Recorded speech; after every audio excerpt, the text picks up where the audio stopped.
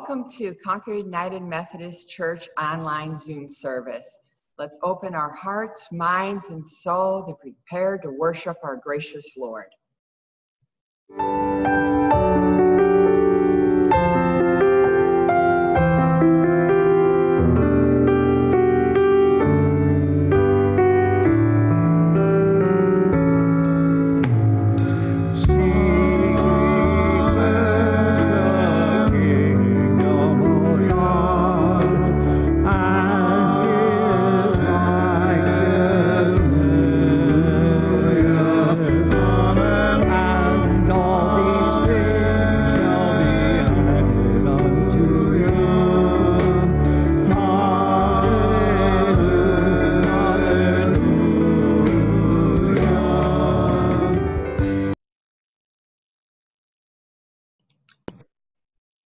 Please join us for the responsive reading.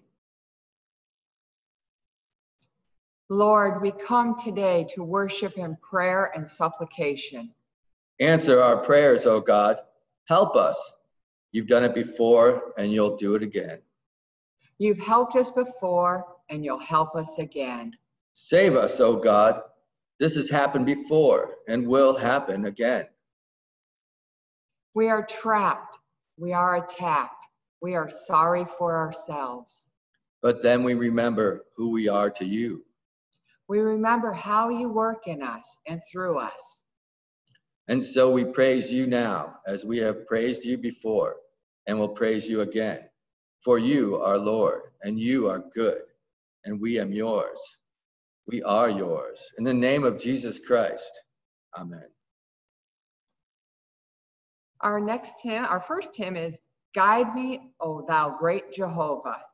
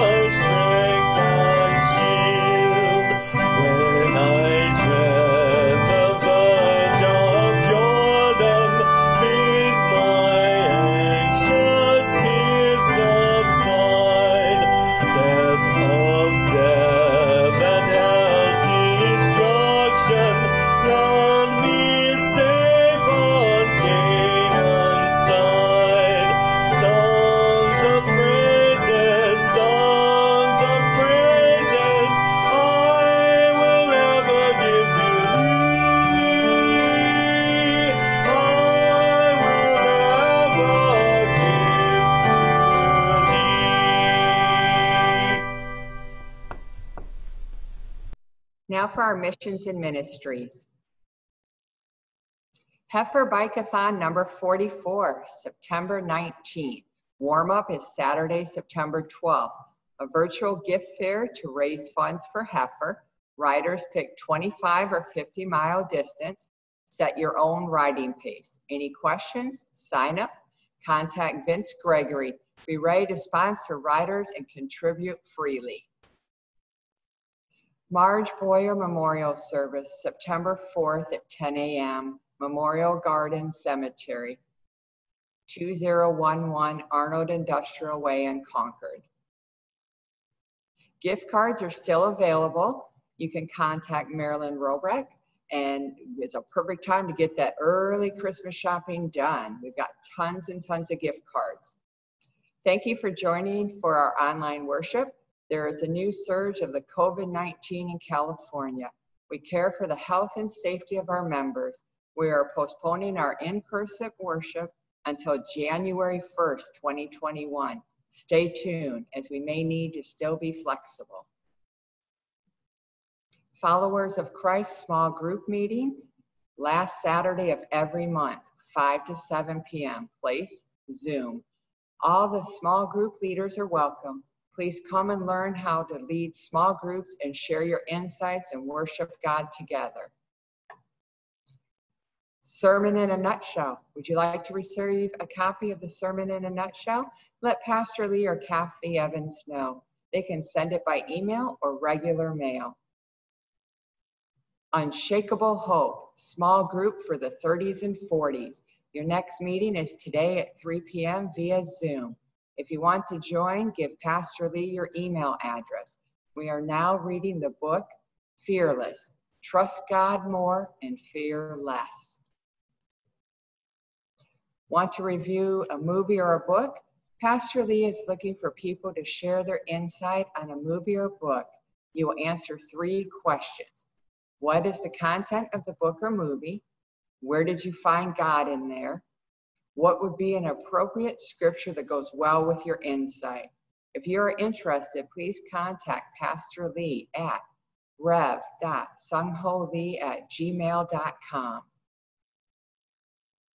We need photos. Please continue to send Sandy pictures of your activities. We will share them during future services. Would you like to honor a current or former, former CUMC member? Please send pictures of those too. We would love to show all of the good work that our members have done. Send in prayer requests. If you have a prayer request that you want to read aloud online service, please send it to Pastor Lee before 9 a.m. each Saturday.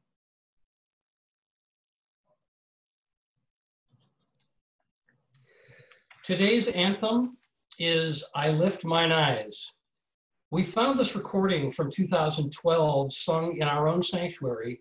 It's sung by Doug Amy and accompanied by his wife, Darlene, and her daughters, Corinne and Melanie, on flute.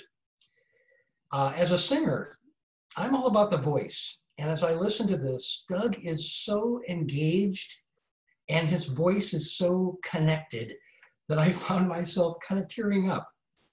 And as I watched that whole family presenting the music together, it made me realize how lucky we were to have them in our church family. The words that you should pay attention to are He will not let you stumble, He will not let you fall. The Lord is your keeper. The sun will not strike you by day, nor the moon by night. The Lord will keep your life. I lift up mine eyes to the hills, and I wonder, I wonder, where is my help?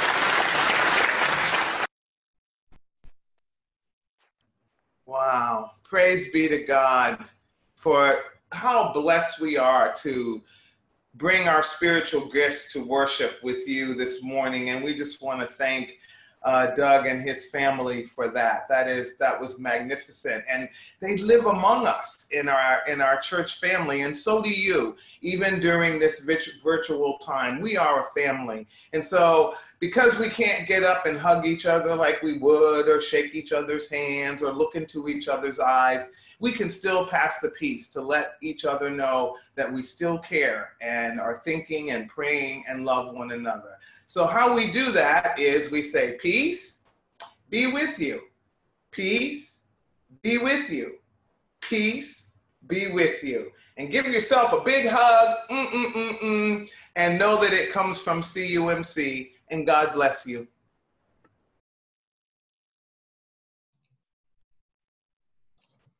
Our scripture reading is Psalm 70, verses 1 through 5. Hasten, O God, to save me. Come quickly, Lord, to help me. May those who want to take my life be put to shame and confusion. May all who desire my ruin be turned back in disgrace. May those who say to me, Aha, aha, turn back because of their shame. But may all who seek you rejoice and be glad in you. May those who long for your saving help always say, The Lord is great. But as for me, I am poor and needy. Come quickly to me, O God. You are my help and my deliverer. Lord, do not delay. May God give understanding and wisdom to his word.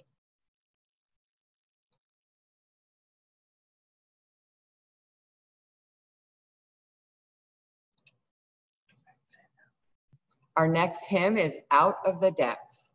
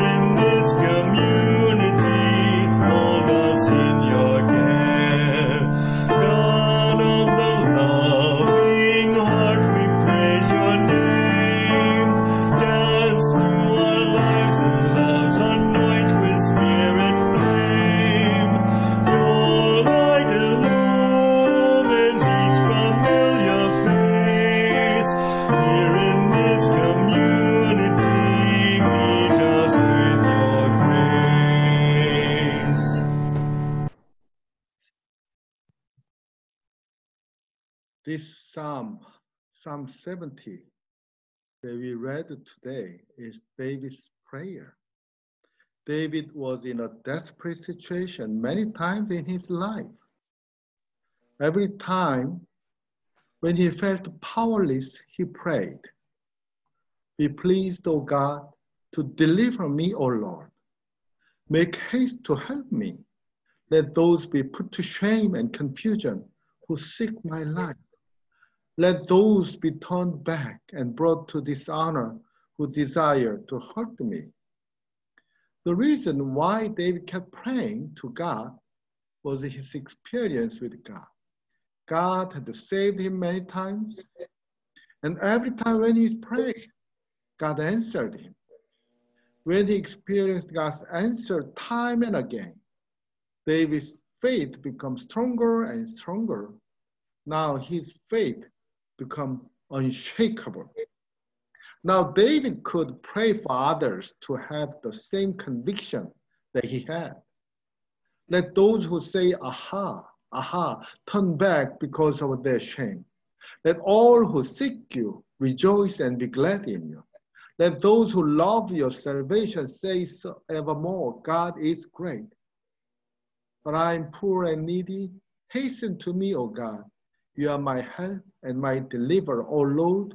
Do not delay. David's prayer was answered. Here now, our church member, Betty Prayer also can say the same thing. She will testify to it. So let's uh, invite and welcome Betsy McLeod, and she'll share her testimony as David did in the Bible. Betsy, come. Thank you. Let those, oh, sorry. Hope in the world of despair. Matthew 6 34. There does not worry about tomorrow, for tomorrow will worry about itself. Each day has enough trouble of its own. Isaiah 35 4. Tell everyone who is discouraged, be strong and don't be afraid. God is coming to your rescue. When I was a young child, I read my Bible faithfully. It wasn't an easy read because it was a King James Version, but lots of lovely pictures. I loved all the stories, especially the ones about faith. And if you believe strong enough, you can move mountains and not worrying about what tomorrow will bring because God will provide. And as a child, my faith was unshakable. I've loved what I read and I what and what our Lord promised for our lives. Don't misunderstand me. I also know that God told us we would have lows and has and highs, but no matter what, we would be walking with us, holding me while I went through my trials and giving me his unquestionable love. When I look back over my life, I do see and can see that God always was true to his word and never had forsaken me. There were times when we just had rice, milk, and sugar for breakfast, lunch, and dinner, but someone all of a sudden came with food and we would have food and it was all good. We always knew that someone would come through and help out our family, and it was the angel that lived in Colorado. She was my mother's cousin and never had a family of her own, so she took our family under her wings, and when we needed help, she was there. And of course, as kids, we loved the fact that she would always send us birthday cards, and there was always a brand new dollar bill. It seems, it didn't seem like a lot, but for us, when you have no money, it was like winning the lotto. My teenage years. In my teenage years, of course, I had some very difficult times. For me, I thought my life was ending when I lost my father. But the Lord knew different. He had plans for me, and my neighbors and other people that were around me, they helped me figure out what I was going to do. But the one that was guiding them was the Lord. He made them my angels at the time. I was blessed, and I, in that, I never really worried about tomorrow because I knew that through prayer and God being with me, no matter what challenge arrived, I could meet it with a positive attitude. I also knew that through him, almost anything could be accomplished. Didn't mean I wasn't going to be spared grief or hardship. I just knew it would be easier with the Lord in my life. People have always told me that I had a strong per- I'm a strong person. Maybe that is how people perceive me, but I don't think that I'm that strong. I just have someone in my corner that helps me. I wouldn't have that strength or I wouldn't have that attitude if, if I was alone. But I am never alone. I daily walk with God. He sends me messages throughout my life. He has guided me in prayer and helped me accomplish dreams and hopes through all I do. Of course, this isn't a relationship that develops overnight. It is something that takes a lot of prayer and a lot of faith. It's a journey, a long journey, one that starts from the time you learn of Christ. But it is a wonderful journey, full of twists and turns and lows and highs, but it's a promise that is that he fulfills for us. I never wanted for things in my life. You would think I would have because I had so little. Yes, um, yes, so little material things, but rich in spiritual life. If we just let Him take control of our lives and our futures and put our, all our decisions in His hands, then He has more. Then He is more than happy to help us get through. God knows before we before we do what is going to take place. It doesn't mean it makes it happen, but he can foresee it. After all, he can create the universe and everything in it. Why wouldn't he be able to see what is to come? But it is up to us to make the right choices. Doug's illness and passing. I couldn't have told you when my husband was diagnosed with lung cancer how long he would have. Yes, the doctors doctors gave us a time in the beginning, but it wasn't God's time. I was blessed to have him for almost seven years. Yes, there were a lot of procedures and a lot of chemos, etc. But there were also a lot of time to enjoy our time together in wonderful ways. Yes, I would rather have had more time with Doug, but I always have felt blessed that I had as much time as I did. Then the pandemic hit. So many people affected, out of work, businesses closed, still having to pay rents with no money coming in. But even then, I had a landlord that was willing to work with me. But I was able to make rent, even though I couldn't charge my coworkers their rent, because I was still um, I was self-employed. We couldn't get employment. Then the government opened it up to us as well. So when I got the money, I could apply it to my rent and was able to pay the whole three months I was out. And in the beginning of July, my landlord gifted me with $1,745 because I was a good tenant and he wanted to give it give me a break which i ended up applying for august which came in very handy because we were closed back down. But it wasn't really the landlord or anybody else but it was god providing again because that is what he does and that is what he promised. Stimulus check. So because i went back to work i closed my unemployment and have to reopen it. So no more money again but I have been waiting for my stimulus check since they first started sending them now out. Well, guess what? God came through. I got my check, and so I'm good again. It isn't a coincidence. Oh, is it a coincidence or is it the Lord? Well, I choose to believe that He has been carrying me in His arms throughout my whole life. Do I wonder why He is so good to me? Knowing that I am a sinner and that I fall very short of being Christ like? Well, it doesn't matter to God that I am a sinner. Otherwise, he wouldn't have sacrificed his only son for me and you. The only thing that matters is that we love him with all our heart, mind, and soul, and love others the same way. That is what he asks us, asks of us, which is a challenge, especially loving others in the same way. But if we want to be more Christ like, that is what we need to do and do not worry about all the other things in our life that can bring us to despair and questioning things. So pray and love, and you won't need to worry. God will be carrying you as well. Now let's pray. God told us not to be afraid. So let's pray. Thank you, Lord, for getting us through the good times and the worst times. Help those who struggle with their faith in their lives. Give them the strength they need to get through as you walk with them. Thank you always bless thank you for always blessing us in our lives. I ask this in Jesus' name. Amen. And I hope that you all will pray and realize that God loves you with all his heart and soul and mind, like we should him. Thank you, Betsy. Isn't it a powerful testimony? Sometimes people have a thermometer faith. So their faith shows whether God is with them or not. But sometimes people have a thermostat faith. That means their faith can adjust to the situations lows and high to make it stable. So Betty shows today thermostat faith. It's not a thermometer goes up and down like happy and sad.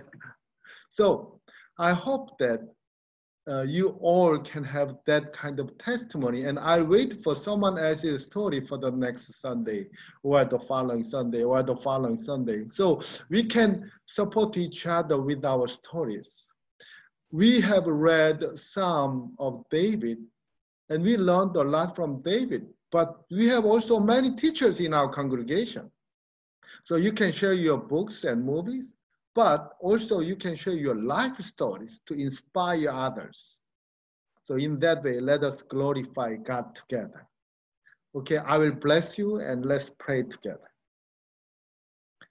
Thank you, God, for this wonderful testimony that you share with us today through Betsy McLeod.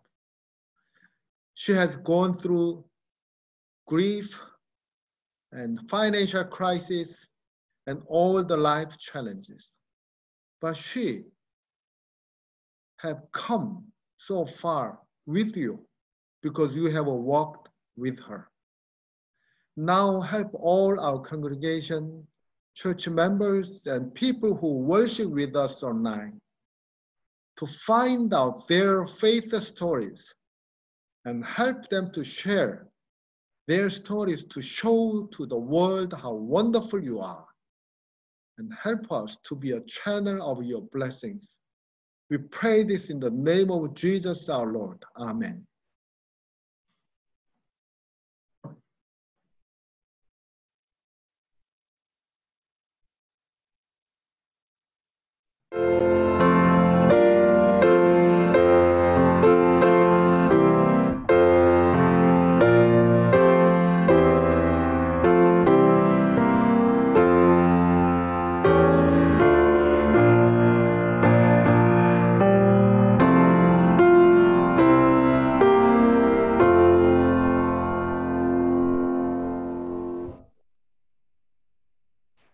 Now is the time that we come to you and ask you to become a part of the mission and ministry of Concord United Methodist Church.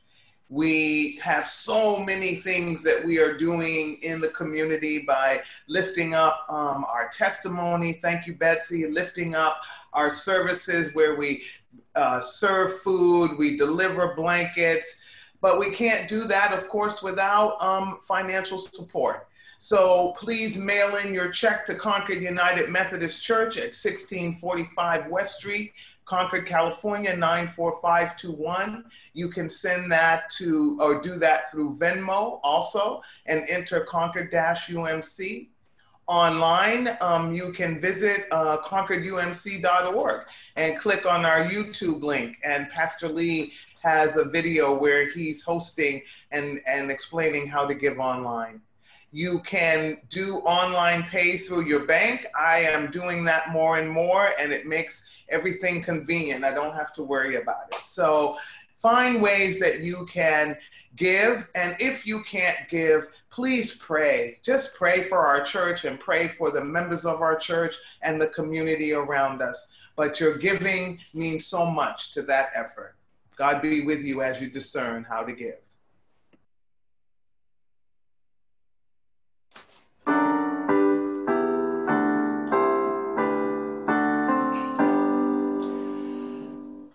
Raise.